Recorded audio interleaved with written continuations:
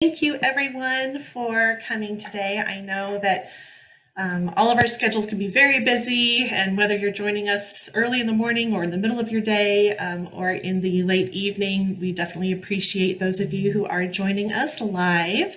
And we hope that you are bringing some questions to the table. We really would like for this to be an interactive webinar, um, but please don't feel like you need to take notes. This will be uploaded to YouTube um, later on this evening. So you can just sit back and relax and enjoy and um, bring your questions to Dr. Riaz. And um, if you need to leave early or come and go, then that will be uploaded to YouTube for you to view later. And today's webinar is the second webinar of the advocacy series of 2021. And this is actually the third and final event on this quarter's topic, which is advocacy at all ages, which is um, in this topic, we've been exploring how to establish a foundation of advocacy skills for children, teens, and young adults, just to help get them on a more successful path for managing living with FOP. Um, in April, we did a podcast with Amanda Callie, and in May, we did a community panel. Um, so I definitely encourage you to go back and look at those resources. And after today's resource webinar, um, you'll be receiving a survey via email and make sure you fill out that that survey not only to give us feedback about this quarter, but we will also have um, the ability for you to request the resource workbook that Hope and myself are putting together that accompanies all of the events that we've had for each of the quarters. Uh, my name is Karen Kirchhoff, and I'm the Family Services Coordinator here at the International FOP Association. And I'd like to get started with just a few Zoom housekeeping tips. Um, if you look at the bottom of your screen, you will see a menu bar. There is a um, chat button and we welcome you to put your experiences or any comments that you may have in the chat section. And then there's also a Q&A button at the bottom. If you put your cursor down at the bottom, if you don't see that toolbar, it should pop up. But the Q&A button is where you can type in questions. If you have questions for Sumira, um, please feel free to type them in. But we also do have the capability if you would like to ask your question live and be a little bit more interactive, um, then there is a button at the bottom that says raise your hand. And so if you click on that and raise your hand, um, then I can call on you and we can turn on your video and turn on uh, your your audio. Right now, everyone's video is off and everyone is muted just to keep things a little bit more quiet for the presentation. Um, but Sumira has laid out her webinar today in uh, three sections based on age categories. Um, each section will have a case study. So after each case study, we'll take one or two questions specific to that age category. Um, but for sake of time, we'll probably only take a few questions. But at the end, um, if we need to go back and ask questions for any of the case studies um, previously, there should be time to do that. So again, type in your Q&As or feel free to raise your hand and be a little bit more interactive. Um, so I'm now excited to introduce finally our, present, our presenter for today, um, Dr. Sumira Riaz. She is a registered health psychologist and cognitive behavior therapist with over 18 years of experience working within the UK National Health Service, the charity section, and various healthcare agencies, including her current position, which is with Open Health, and she's been there since 2017. Sumira is also part of the chronic pain team at the Royal National Orthopaedic Hospital, working with patients diagnosed with pain and other mental health conditions such as depression and anxiety. And she's also a trained cognitive behavioral therapist, logging over 500 clinical hours, and is very in tune with the difficulties faced by people experiencing mental health and the complicated pathways when, when accessing help and, help and support. Um, she also has done some collaborative work with the pharmaceutical companies, which has given her the opportunity to actually interact with a few FOP families. So we're very excited to welcome her today and have her as part of this series. So Sumira, thank you so much for being here. Welcome. And let me stop sharing my screen so that I can turn it over to you. Thanks so much, Karen. That's a lovely introduction. And um, uh, hello, everyone. And thank you so much for joining today. Um, I'm just going to share my screen. I have a few slides um, to go through whilst presenting, just to give um, a good overview of some of the case studies and some of those experiences. And so um, I'm really excited to go through these because I think that they're very relevant to um, questions that came back um, from yourselves when we wanted to really tailor um, the types of information that we wanted to share today because we could go on um, and have a whole day on this. There's quite a lot to cover. Um, so I've been quite selective in streamlining it. So just to start off, um, these are some of the questions that came back. They're not all of the questions, but some of the main ones um, in terms of where what we wanted to explore during this presentation. So, um, you know, how do you cope um, with with children's emotions and and support them to express their uh, fears and anxiety, and, when it particularly when it builds up. You know, how do how do you help your child live with a constant unknown um, since FOP can strike at any time? Um, when and what age is it appropriate to give kids more freedom to take over some responsibilities or you know, the activities that they would like to do to prevent flare-ups? How do you get past parental fear um, so that you can empower your kids to be more independent? And how do you balance caring for and giving fair treatment to, to kids and FOP and siblings? And a lot of these questions really um, sat with me for a while because I've these are quite questions that a lot of parents um, are experiencing and lots of um, uh, areas that you know we're not taught how what the right way is. And there is no right way. You know we all adapt and we evolve. And particularly the types of family structure that we have um, it will vary. But i hope that from today's talk there's you know bits of information that you can take away and and start to implement yourselves. Or um, or just to reflect on uh, when when you're factoring in these these topics so the way we've structured today's discussion is to talk about the critical stages of child development. And it's very it's not um, sort of i'm not going to spend too much time in in all the stages of child development i think what's important for advocacy being that the topic today is supporting um, uh, advocacy skills and really supporting your child to be independent in that instance. So we're going to focus on the social skills and social um, development. We're also going to look at within that methods that you can then take away and, and implement and, um, and resilience and what does that look like and what does that mean. And as we go through these, as Karen mentioned, um, we'll pause after the case study and it'll be good to get some questions as well if there's anything specific that you want to cover off. So what is the critical stages in child development? Um, there's, when we look at child development, we know that cognitive, social, and there's emotional factors. But when we look at it from a social development perspective and how that then impacts um, our ability um, to help our child become self-advocates, because if you define what advocacy is, advocacy essentially is providing or supporting an individual to be enable them to um, as uh, you know uh, be able to speak about what's important for them and and and essentially stand up for what's what's right for them and um, and the needs and support they need.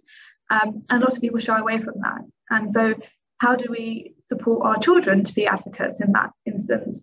And we've split it into, or I've split it into three um, three themes when we look at social development. And so when we're working with, when I'm working with children, I'm working with families, I look at it from an individual perspective. Um, so themselves as an individual, what's going on for them, an environment environment perspective. So what is around them that can support them and can, can enable them to um, build up some of those skills.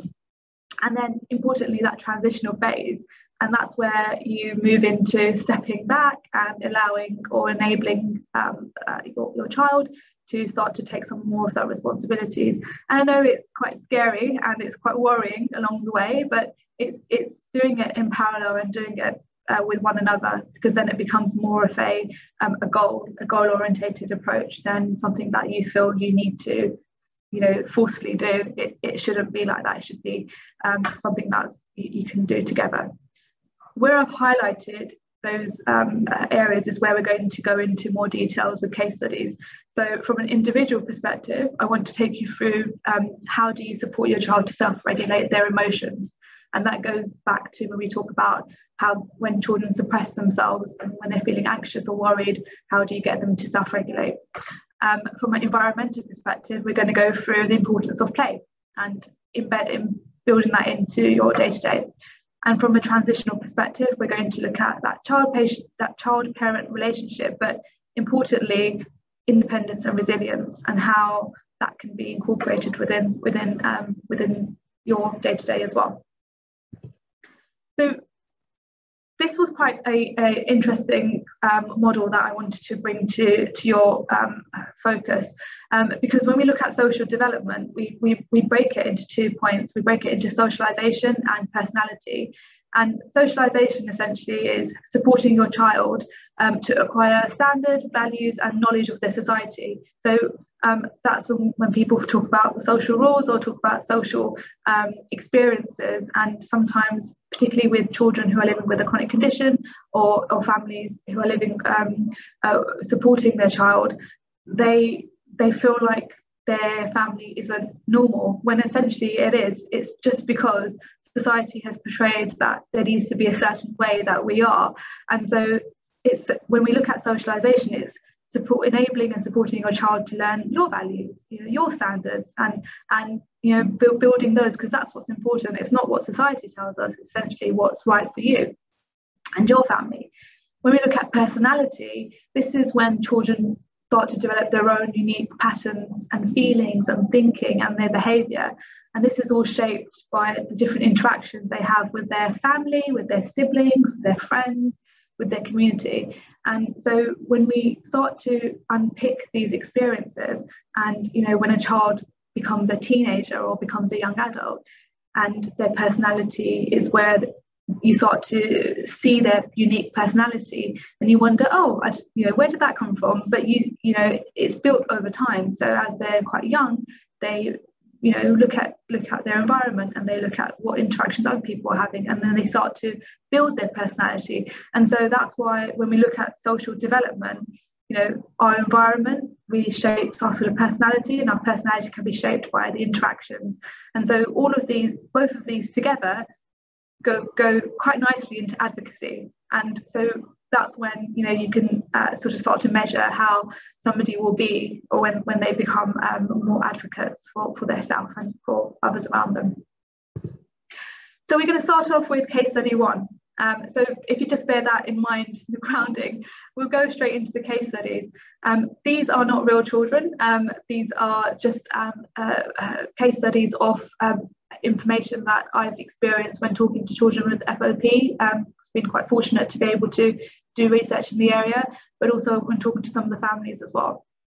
And so I've segmented it into different age groups. So now we're meeting Tom, who is 10 years old. Um, so if you think about it from an adolescent's perspective.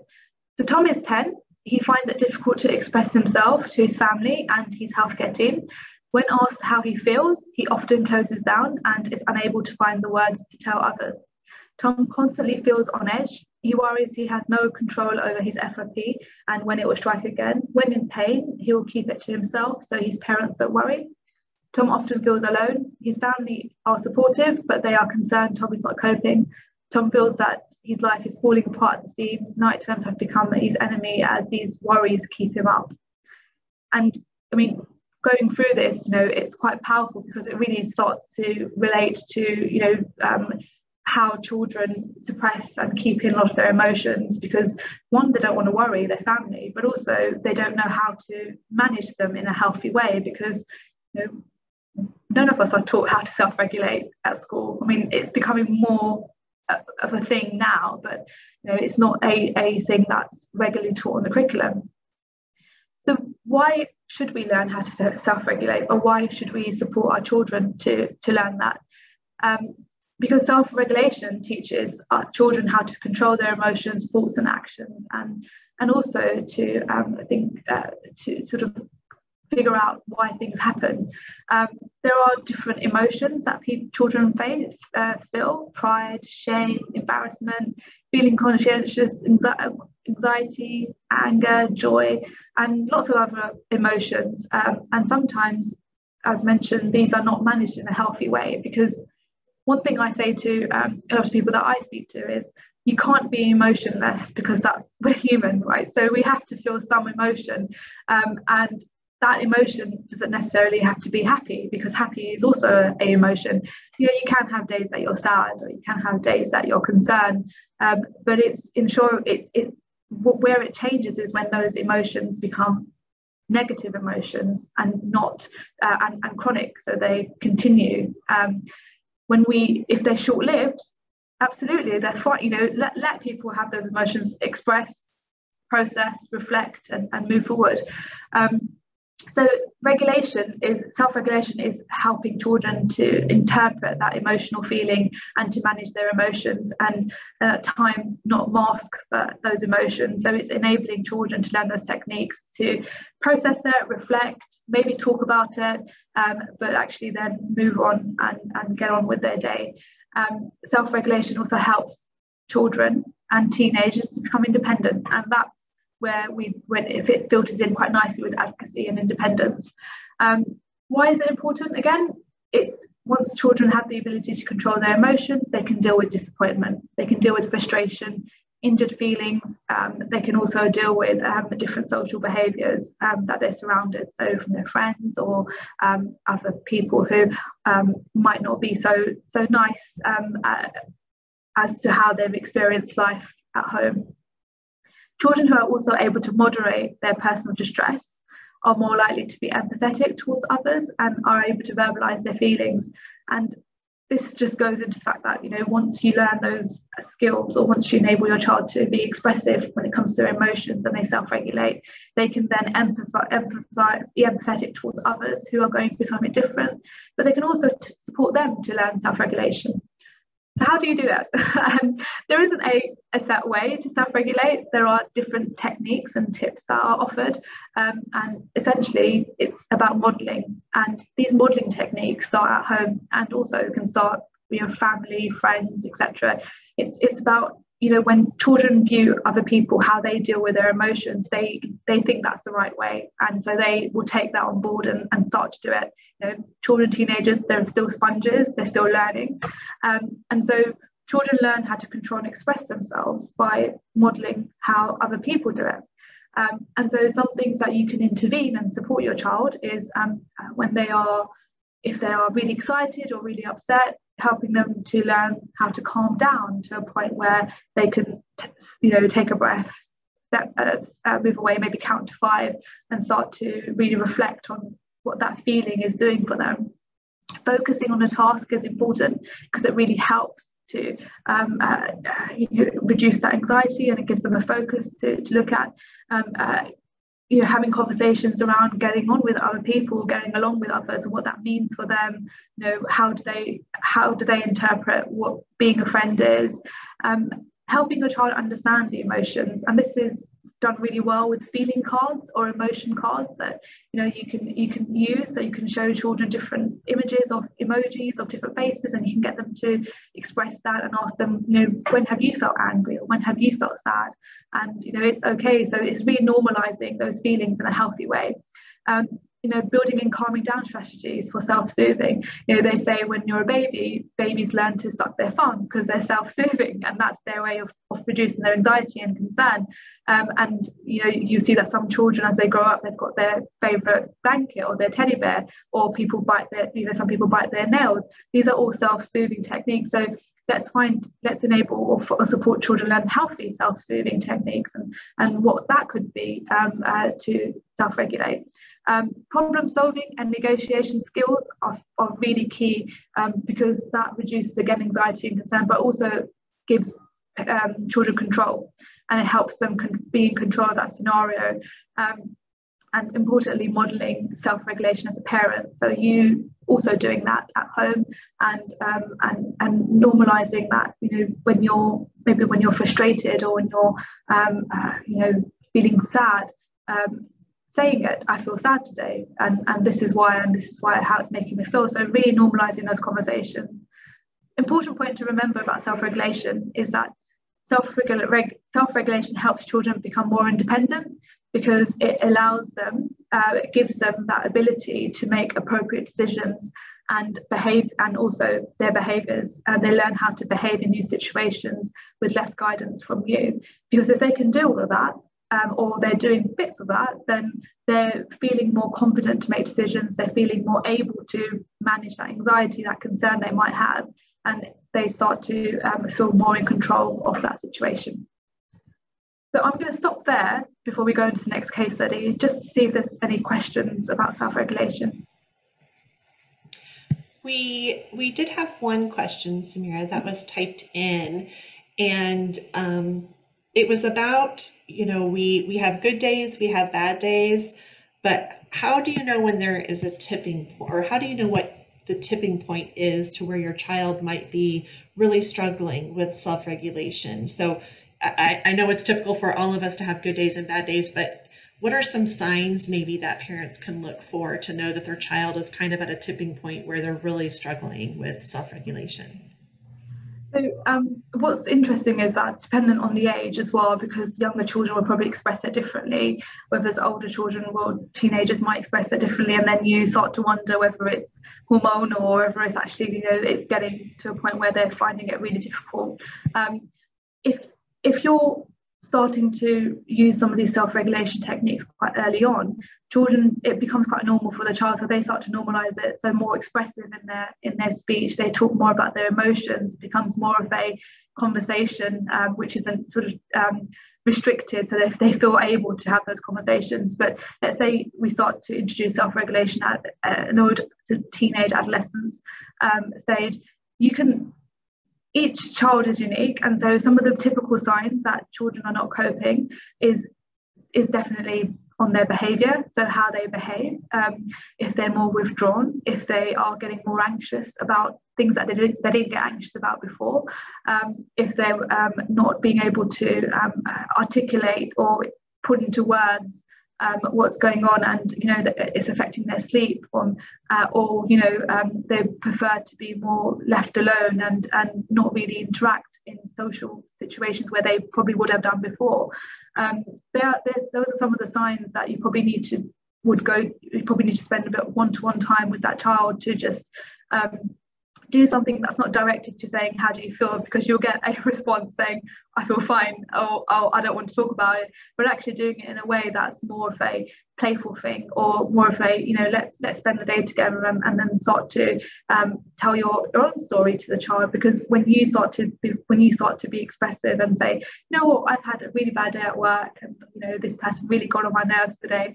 And that starts the conversation it becomes quite normalized. So it's it's it, the, the go the key word here is normalization. It's just making it more of your everyday language and everyday speech around um, talking about your emotions and having those discussions. I hope that answered your question. Yeah perfect. Thank you. Do we have any other questions? Does anyone want to ask a question live?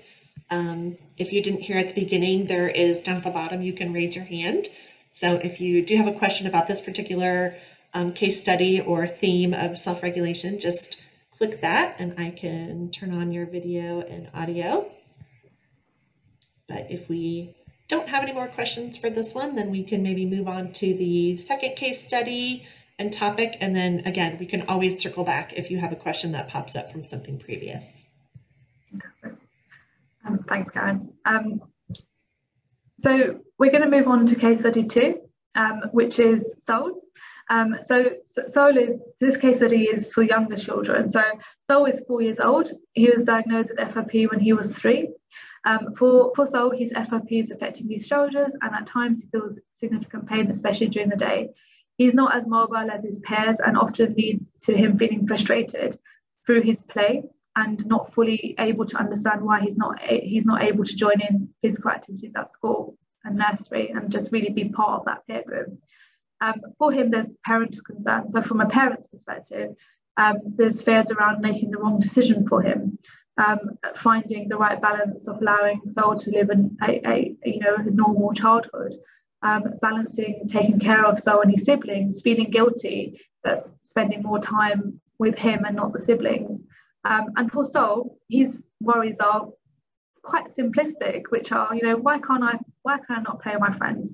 And so what I wanted to capture in this case study was particularly younger children. You know, we as, as parents have more worries and concerns and fears because our child is quite young, isn't able to verbalize as much as maybe an older child.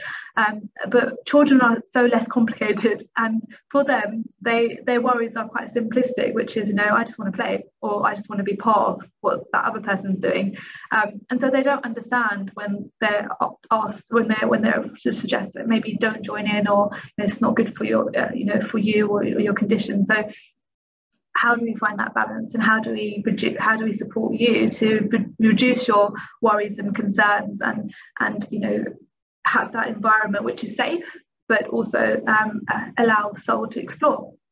Um, so this topic is focusing on the environment and how what the the role of playing and learning through play. And learning through play is, you know, I think as adults we can still learn through play. Um, but when you're a young child and maybe you're not at school as often and you're spending more time at home, um, what else could be done to support that and also support your development and support their development? Um, so re- research has suggested that children with chronic conditions cope su- surprisingly well um, and they are really keen to play and explore. And in a child's world, um, and remember, a four year old's world. Um, fear, pain, embarrassment, confusion um, can be ordered and controlled through, or can be sort of managed um, through songs, jokes, art, and funny stories. Because, like, I, like I've mentioned before, for a younger child, the the way emotions are expressed are diff- are different it's a different threshold to when you're an adolescent or when, when you're a teenager or when you're a young adult um, for younger children, if they feel like they're embarrassed or if they're confused, these can these interventions are can be done through play. So um, you know, creating a narrative, a, a, funny story, or or working, you know, creating a joke or doing art or creative stuff um, can really help them channel that frustration. Um, and children develop through play, and it doesn't mean that they have to be physical play or they have to be running around you know it can be a sit down task it can be an activity. Essentially at this age it's about attachment and engagement and you know that child feeling like they have that environment where they're able to express themselves but also not feel that they um so they don't feel let confused. Um, and so play provides children with a sense of control and empowerment and you know it gives them they're able to dictate they're able to sort of take the lead they're able to feel empowered they can get their you know your, your fam- family around them to really support them within that. Um, parents and children can develop um, gaps in playful routines um, and what's some some research has, show, has shown that particularly younger children where they find medical experiences quite unpleasant um, you know there's different techniques that you can turn that appointment or that doctor's session into more of a playful role play or a routine so it becomes quite normalized and so, for instance, you can say you're going to um, an adventure and you're going to see, um, you know, the pirates and he's going to provoke, you know, you know, check you. And so there's lots of things that you can turn this into. Um, and there's lots of lovely research out there as well that talks about fantasy play and medical treatments and creating that experience where it's less frightening for a child and it's given them a sense of control. Um, and so, you know, do do feel free to look at the research out there because I think there's really good examples that you can start to play in or invite into your home as well. Um, but playing can be a family experience, and this is where we talk about siblings because it's about in, engaging and and um, getting siblings involved as well. Um, I know there's a bit of work that needs, you know, sometimes siblings don't understand um, you know how they can play with with the with the child that's suffering from FOP in a um, safe way, so they might feel reluctant. So um, you know it's you know giving that time and space for siblings to understand you know what what what can be done, what can't be done, and and almost you know find, finding that middle ground. So really helping them understand the importance of spending time with their brother or sister and providing them with that responsibility. Um, and so they also feel like they are empowered and responsible to to have that time um, with with that with child to you know express, play, and develop. And so if you go back to if we go back to Soul and we talk we think about you know his his frustration is he just wants to play. Um, and so that's what, I guess the message here is that it doesn't necessarily have to be a physical play environment. It can also be translated in home through, through role play, through, through fantasy play, through um, creative um, aspects, which, which you can also build in some um, uh, experiences around um, some of their medical experiences to start to make that more of a fun and enjoyable session as, as well. I want to touch on parental guilt because that comes into Soul's case study as well. And this is quite a quite a um, I guess quite an intense topic because you know we all feel guilt in different ways, and so there isn't a a set way of why people feel guilty. But I've tried to capsulate it into a few lines, and um, and you know it, it's important that you, if there if that guilt becomes quite chronic, is to you know address it in, in a through, through therapy or through um, support. But parental guilt um, and happens to all of us.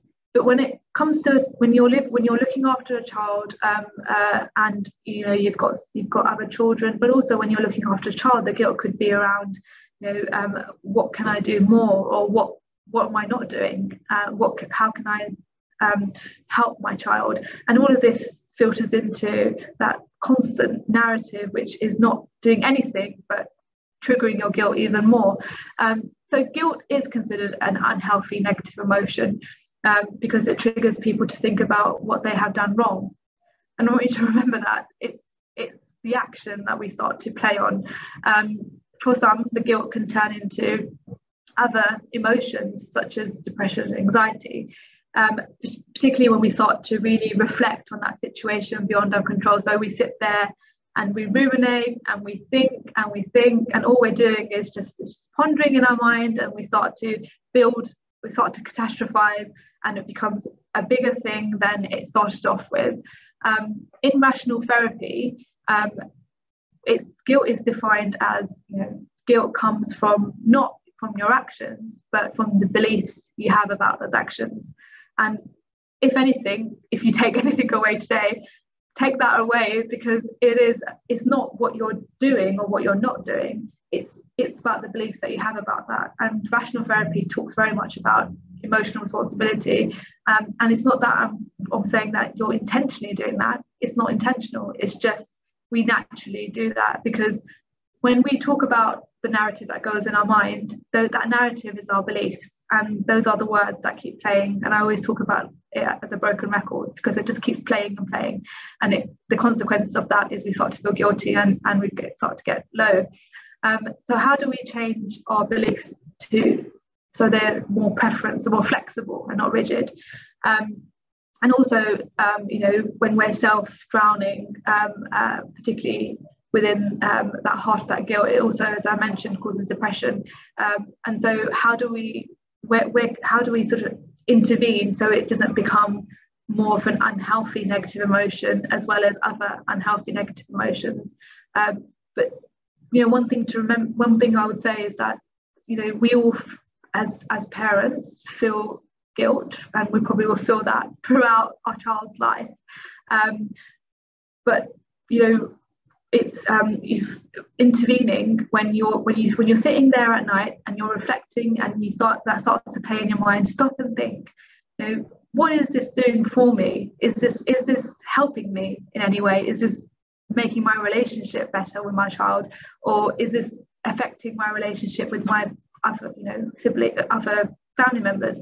Um, what is the benefit of me feeling like this? So it's about questioning ourselves and our preference beliefs um, and when we when we learn to start to manage our unhealthy emotions, it doesn't have to be guilt, it can be other unhealthy emotions.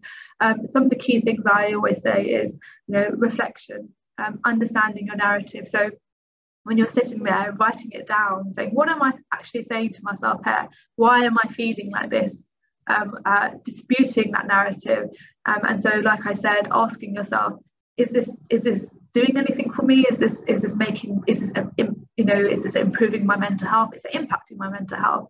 Um, and and then looking at preference, so looking at alternative flexible beliefs which help you then effectively manage that scenario in a more healthier way. And I'm sure some of you have already seen this diagram um, when you look at CBT. So um, essentially, it's that cycle of our emotions um, trigger our so our thoughts trigger our emotions, which trigger our behaviour. And so that thought is our narrative. And how do we stop at that point before we go into that emotions and that behavior? I'm going to stop there before we move on to the next case study to see if there's any questions there. Let me check the Q&A. We don't have any submitted in Q&A, but we did have one submitted in the chat. um, which was just how can parents help support older siblings who may be more aware of the long-term progression of FOP while the younger child may be unaware. So is it better to hold that conversation in private or is it good to have a younger child present um, as a part of that discussion? Is that, uh, so, sorry, just to, is that the younger child with FOP or the older child? Yeah, if a younger child with FOP who has an older sibling who may be aware of the progression of FOP, but ah. the younger sibling does not know the progression of the disease himself. Mm-hmm.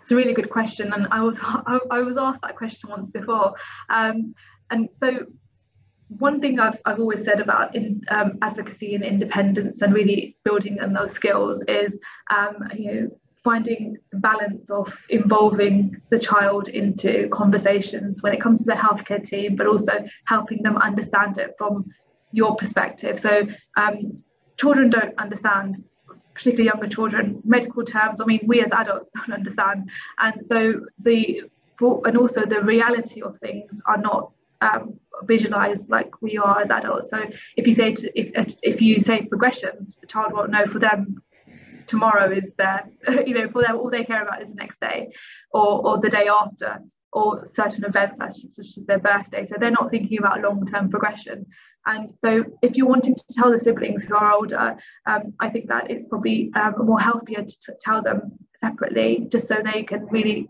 ask questions, giving them that space um, independently, because you know they might have questions that they might they might feel uneasy to ask in front of the child, younger the younger sibling as well. So first giving them that space to just really just hash it out, really explore, um, uh, really have that discussion and, and then also they, they, they, probably want to know how they can support. So you know having that conversation is important.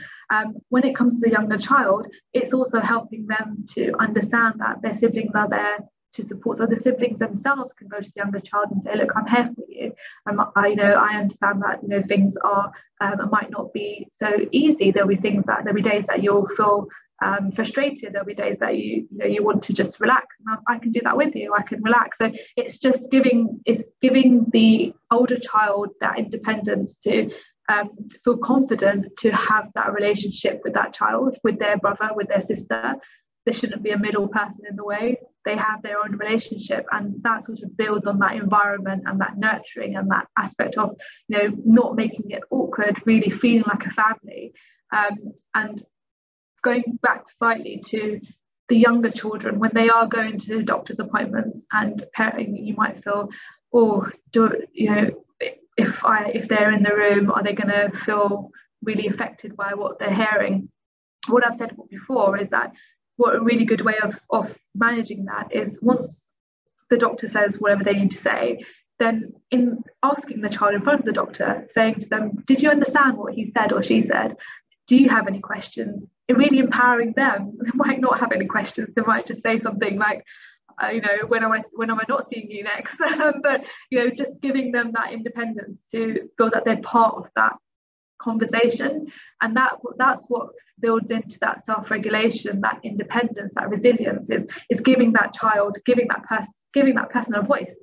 Um, and and you know and i think integrating is so important. Um, so hopefully that answers your question yeah, that answered it very well. And I, I love your examples too, because like you said, it, it does give even a very young child the opportunity to start building some advocacy skills, which I think sometimes as adults, we don't think that younger children are capable of that, but they, they definitely are capable to start working on it. Yeah, yeah, absolutely. Younger children nowadays are very advanced in their questioning and they're quite funny actually as well. Um, so I'll move on to case study three then, and then we can always go back if there's more questions. Um, so case study three is about um, Sarah, who's 17. So she's a lot older. This is that older age. Um, so Sarah is 17 years old. She's planning to attend college after summer break and is really excited but nervous. Unfortunately for Sarah, she's currently experiencing an active stage of her FOP, particularly because hormone hormonal change and you know that triggered. She's struggling, therefore, she's struggling with both decreased mobility and, and also pain management. Sarah has less energy throughout the day, which is also impacting her quality of life. Um, Sarah's family are supportive, but her dad can sometimes be overwhelming, overwhelmingly helpful, and he often worries about her. She wants to be independent and feels like she's able to think ahead, but doesn't know how to, and uh, and want and and isn't sure, so sure about the consequences or what the consequences might be if she then becomes independent. And I think this fits quite nicely with that transitional piece. Is you know um, when your child is at a certain age and they naturally rebel anyway. Um, and see they're also um, living with a with a chronic condition or living with a condition then you you feel you feel extra worried or you want to protect them even more so because you know the world is um, not so nice out there. And so how do you um, feel like how do you sort of be how, how you're able to just slightly step step back and really enable them to make those um, uh, to learn and, and to learn through the, their experiences because that's the only way you can build somebody's resilience is when they when they're in situations and they're able to process them in a healthy way. Um, so that's where resilience and independence comes in to this theme. And I, I kept this slide quite quite blank because the, the reason why is because I wanted to go through resilience um, and what that definition is. And um, if you look at it, oh God, I've skipped. If you if you look at the definition of resilience, it's the capacity to quickly um, or capacity to recover quickly from difficult toughness. Um, if you look at the um, definition of independence, it's about accepting and believing that you and you alone must be responsible for your life. Now that is quite intense, and those definitions are quite strong.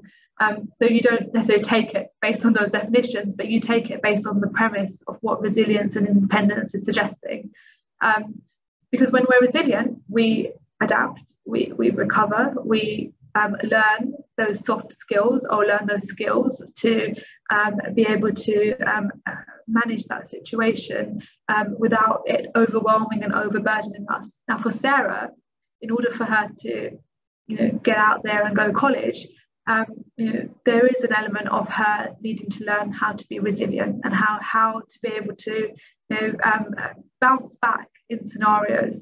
Um, and also not forgetting that she's now going to become independent enough to make decisions for herself where she might not involve her family. And there's nothing wrong with that. I think that it's important that you know um, children when they're becoming adults they have that they have that time to really um, uh, learn and develop as well.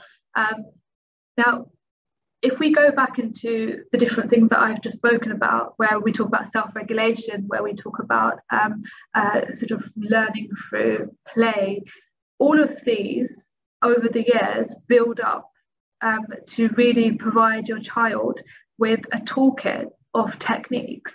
Um, so when they get to this age, they're able to then um, uh, sort of become more resilient and they're able to start to become more independent in their approach and in their way and in, in their in their speech and, and and be able to vocalize when they need more support and when they don't. You know they are going to come back to their families for, for help and advice but it will be done differently than it was before. So it's that child that, that, that transition that you've probably heard you probably hear lots of stories about you know that transition of a, of, of, of, a, of a child um, and parents stepping back and trying to step back. Um, and it's just finding that balance. And i think that there's work to be done in both in both groups both the parent feeling um, uh, you know feeling confident and, and able uh, to to just you know allow their child to maybe step away and and, and learn and experience and be exposed to to scenarios um, but also the child having those soft skills or the skills to be able to manage those in, in an effective way um, uh, which which is only going to really support them because we learn through experiences. Um, I see there's a few questions um, on there so I don't know if we want to stop for some questions now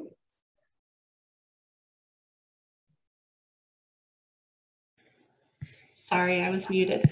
Um, yeah, a question did come in um, that says, what if you who has FOP are aware of your needs, like going out and um, being out and about, but your family isn't? If they're in a mm-hmm. mindset that they're protecting you from everything, but that they're then hurting you um, more than protecting you at this point. So how would um, maybe a young adult handle a situation like that if you have any suggestions?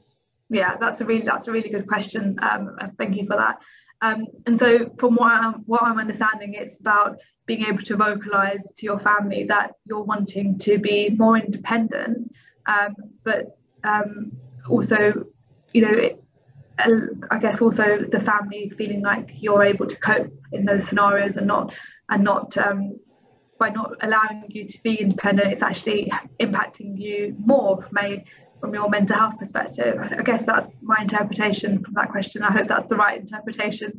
Um, and so I think that you know when we talk about when we talked about before around um, you know having those open conversations um, through you know I know for younger children I talked about feeling cards, but um, it's that normalization where you can um, be more vocal and and say um, you know this is this is how I'm feeling. And, and I know that it's easy for me to say and probably difficult to implement, but I'm not saying that it's a thing that happens, you know, in one night. It's a process. So it's enabling yourself to feel to build up those skills where you're feeling confident enough to um, uh, you know have that conversation maybe starting by writing it down and when you write it down it comes at, it, it reflects or deflects out of you so it's on paper and becomes more real um, you can start to see, you know, you can start to see how you would approach that scenario. Um, essentially, it's not that the family's intentionally trying to hurt or, or, or affect or hurt you or, or, or that scenario because for them it goes back to that parental guilt and that you know wanting to bubble wrap wanting to protect um, and so their mindset is is that you know how do i make life easy or life safe for my child. Um, and so it's about changing that mindset. And that's where when we talk about having these conversations, you know, being able to be um, uh, work work on those skills of resilience, of um, uh, you know, uh, regulation, of um, expression, um, then you could essentially um, have that open discussion and, and figure out a middle ground and figure out what works for both both of you um, so you can then at least have, have start to have some independence um, and and uh, hopefully that will start to show your family as well that actually it's okay to to let go. And I think it is around you know parental anxiety and it is around parental concern. And I think that if you um, essentially that that's sort of where I think it sits when it comes to that that conflict um, within that. I hope that answers your question. Yeah actually I I, liked what you just said about maybe, um, you know, providing small opportunities to slowly build up little moments of independence. Um, because the next question that came through said, um, what if you are aware of good behaviors, but the family isn't, and no amount of talking or shouting is really getting through to your parents? So, your suggestions of writing things down and trying to open conversations, um, what would kind of be your recommendations, if you have any, on mm-hmm. how to start getting a teenager to convince parents to maybe provide them small opportunities of independence to show them that things will be okay and help reduce that parental guilt. Do you have any suggestions when when kids aren't able to get through to parents? Do you know what? That's a really good. That, that's a really good point because if you think about it now, if you look at the barriers, what are the barriers here? The barriers to me sounds like it's communication barriers, and um, and not only communication, but there's there's um, a there's there's a sort of a, a blocker to why the parents are feeling like um, you know they can't step away and enable that uh, that, that child that, that adolescent teenager to um, you know go out there and do whatever they need to do. Um, so I think there needs to be a compromise, and I think that compromise comes from both sides because I think that you know you can have conflict and you can you know argue and disagree, and all it's doing is just you know affecting the environment, affecting the atmosphere, and so it's it's really about you know when we talk about um, children, adolescents getting more responsibility is also getting them to um, have a conversation as you would. If you put yourself if you were at work or if you were at college or school how would you approach your teacher about a task so if you go with that mindset um, then you're more able to articulate what you need and you're and you, are more able to um, constructively argue your your point. Um, when it comes to our families, we do get over emotional with our responses, and so that's when it turns into more of a disagreement. Um, so I always say, step step out of this, the box for a bit. Um, how would you talk? How would you give advice to a friend if they needed to approach their parents about something?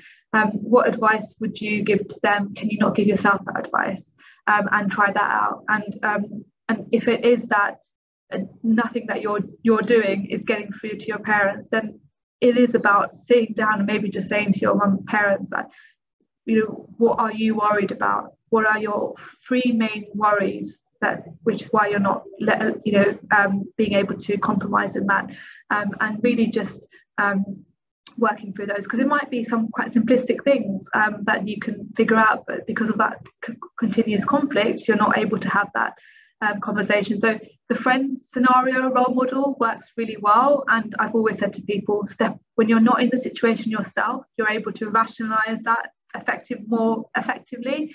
Um, so step out, um, think about what advice you would give to a friend and, and take that advice yourself as well when, when um, trying to approach your family. Perfect, thank you. Um, let me just check one last time. It doesn't look like we have any more submitted in the Q&A or the chat. And if anyone has any questions that has come up from any part of the presentation today, um, if you'd like to answer or ask them live, I'm happy to do that. You can also just raise your hand um, down at the bottom. Um, but if we don't have any more questions, we'll just give everyone just a minute or two to think about it. But um, this has really been an intriguing topic, and I know it's a lot to cover. We have a lot of different ages to cover, you know, from young childhood to, to teenage to young adult. Um, there's a lot of information there, and I know we kind of just brushed the surface. Um, but this has been very, very informative. I really appreciate you presenting on this, Sumira. No, absolutely, it's been my pleasure. And and just to say, as Karen said, that you know these are topics that you could really go into in more depth um, but if anything, if the key takeaways from from here is that um, you know, particularly for the younger children, it's about the environment and what they're learning from that environment. So really, you know, exploring, playing, really developing those skills so they are becoming more independent and empower, empowering them to have a voice, getting them involved in, in things, um, asking their viewpoints on uh, after doctor's appointments, and, and, even if it's something simplistic, um, for for the self-regulation that works across all ages. So really starting to build that and modeling that at home getting children to be more expressive with their emotions having those open conversations about how they're feeling and so they're not suppressing and keeping it within themselves. And for the older child and the adolescents it's about you know um, uh, resilience and independence and giving them those key skills to learn learn through their um, uh, you know, things that happen, you know, and, and how they bounce back and, and giving them, you know, allowing them to have that space because otherwise we're not going to, we, we never learn if we don't experience it ourselves. Um, that's when we build up core skills to then manage it more effectively in the future.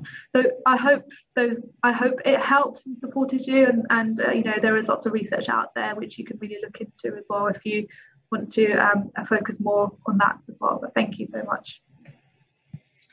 Yeah, so I don't see any more questions. So um, just thank you to all of you who did attend live. And like I said, this will be uploaded to YouTube so that if you want to go back to listen to um, any part of it over again, um, that will be posted on our YouTube channel for you to go back and view. So thank you all for attending and thank you, Sumira, for presenting for us today. Thank you. Take care, everybody. Bye, everyone. Thank you.